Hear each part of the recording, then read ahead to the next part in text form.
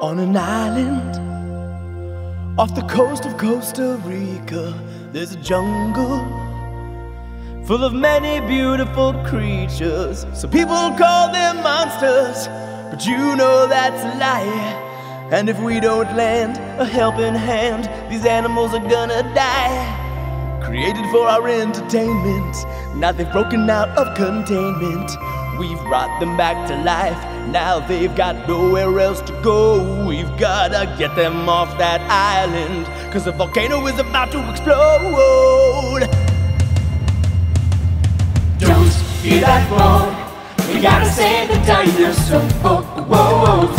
You can't ignore, we gotta save the dinosaurs. Don't run and hide, raise your voice, protect a life. We gotta save the dinosaurs tonight. Hang on a sec. Just wanna clarify the plan, then we're gonna go there and get the dinos off that island. As an activist, I understand the importance of the song. But given everything since 1993, seems like a lot could go wrong. So are we gonna put them all on a boat like some freakish Noah's Ark? Maybe it's just me, but does someone else agree we shouldn't mess with this Jurassic Park? Don't be that bold. We gotta save the dinosaurs. You can't ignore. We gotta save the dinosaurs. Don't run and hide. Raise your voice, protect a life. We gotta save the dinosaurs tonight.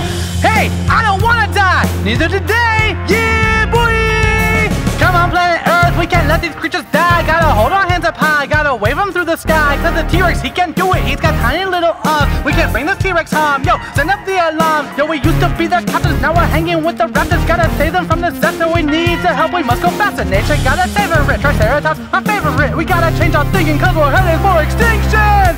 Now, meteor! Don't be that bold. We gotta save the dinosaurs. You can't ignore.